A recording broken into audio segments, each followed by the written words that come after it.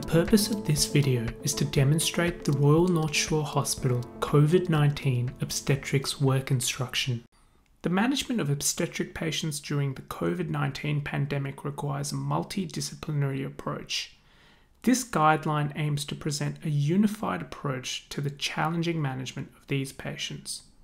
Sarah is a 31 year old female G1P0 who is a known close contact of a COVID positive case and hence has been identified as high risk for COVID 19.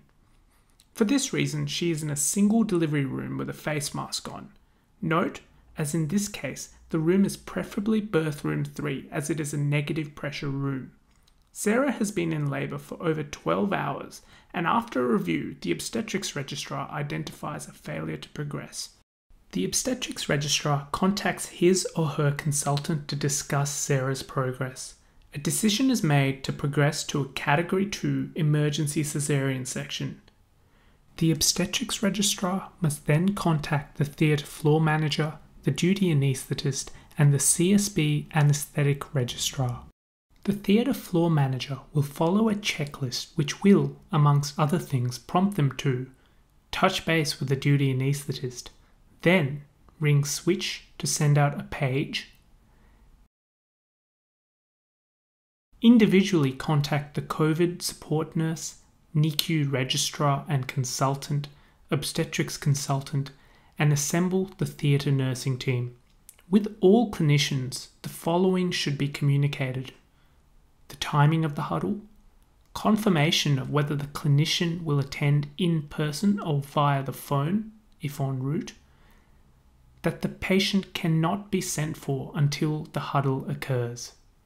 Then they will contact the ward team leader to ensure the patient is ready for transfer pending completion of the huddle.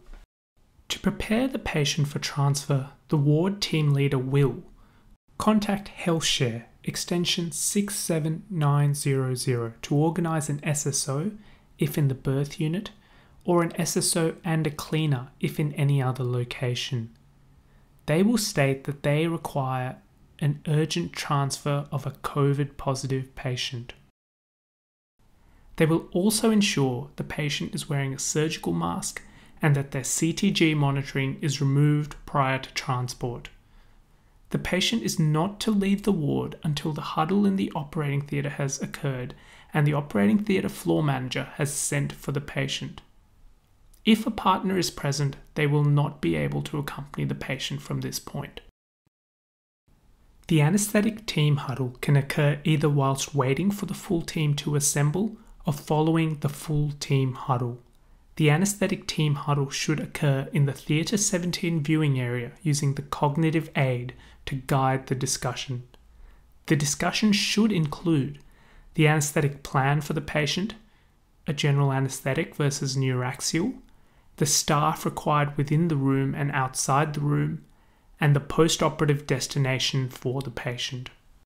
The combined obstetric anesthetic neonatal team huddle occurs in the Theatre 17 viewing area and will proceed when all clinicians are present in person or via the phone.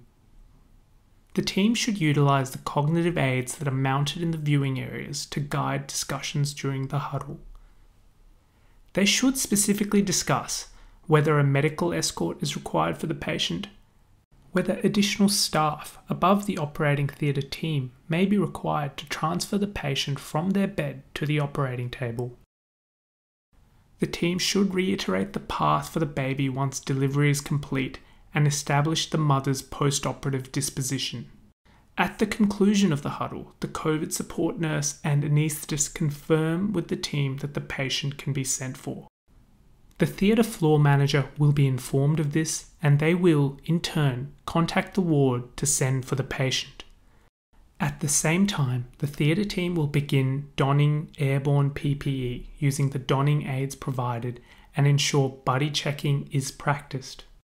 Once the patient is sent for, the obstetric and anaesthetic teams will begin preparing the equipment.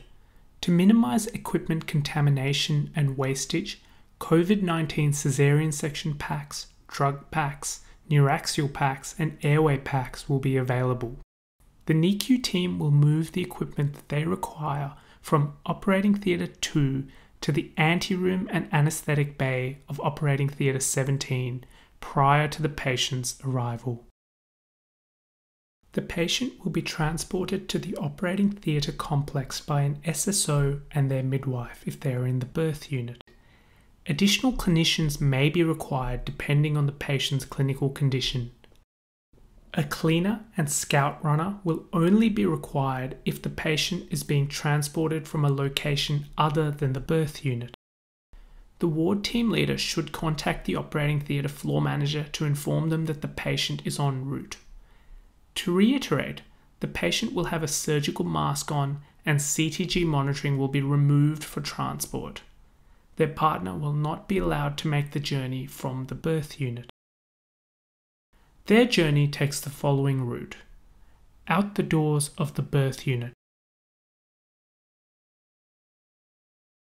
through the bridge connecting the CSB and the ASB, and through the hallway until they arrive at the red line next to the brown lifts. Here, they will be met by the anaesthetic team that consists of an anaesthetist and two anaesthetic nurses. The anaesthetic team will check the patient in to the theatre complex. The SSO should then doff at the red line. They should not enter the operating theatre complex. If no one is at the red line, the midwife can ask the SSO to go to the operating theatre front desk and advise them that the patient has arrived. Once the patient has been checked in, she will be brought into the operating theatre complex. The team will turn right and travel anti clockwise, past the front desk, operating theatre 2, and around to operating theatre 17. There will be signs on the floor en route. She will be brought directly into the room and transferred to the operating theatre bed by the anaesthetics team, obstetrics team, and scout if possible. The OA will only be involved if absolutely required. The midwife will follow the patient into the operating theatre and head straight to the bin outside the anteroom, where she will doff her gown and gloves, and then enter the anteroom, where she will doff her eyewear and mask. The patient's bed will remain in the operating theatre against the anaesthetic bay entry doors. The anaesthetics team will perform the spinal or epidural top up on the operating table. A Category 1 caesarean section may require a general anaesthetic depending on the patient and the clinical context. If this is the case, the patient should be prepped and draped prior to induction as per non COVID patients. If a GA is required, we recommend two anaesthetists be in the room and to refer to the CAT training for a COVID safe intubation. Upon delivery of the baby, the obstetrician will walk to the anteroom door. The door will be opened by the scout nurse, and the obstetrician will place the neonate into the Perspex crib and then move back into the operating theatre. As soon as the door between the anteroom and the operating theatre is closed, the midwife will then enter the anteroom and transport the neonate via the viewing area to the Theatre 17 anaesthetic bay where the neonatal team will be waiting to perform their assessment. Neonatal blood gases will be attended in theatres as required and placed into the anteroom for the midwife to collect after the care of the newborn is handed over to the NICU team. The obstetrician will check the placenta at the end of the case and will provide a pathology request form. The placenta will be placed by a scrub nurse into a plastic drawstring bag. The scout nurse will place the placenta into a second plastic bag and then into a white specimen bucket in the anteroom.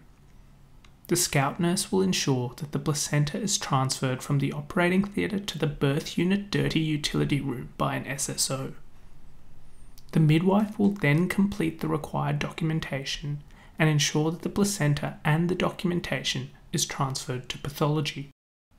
At the conclusion of surgery, the patient will be transferred to a ward bed and cleaned. Then, all members of the theatre team, except for one obstetrics doctor, will exit the operating theatre after doffing down to their N95 mask and eyewear using the doffing aids provided and buddy checking each other. They will remove their N95 and eyewear in the anteroom before exiting. A fully donned recovery nurse will enter the operating theatre and recover the patient with the obstetrician for 30 minutes. The obstetrician will remain with the patient and perform fundal checks and assess for postpartum blood loss. After 30 minutes, they will request an OA and the obstetrician will doff and exit the operating theatre. The mother will be taken by the recovery nurse and the OA out of the theatre complex.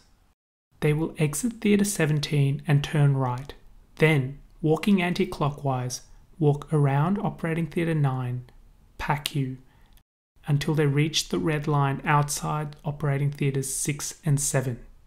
Here, they will meet an SSO who will push the bed back to the isolation room on the birth unit.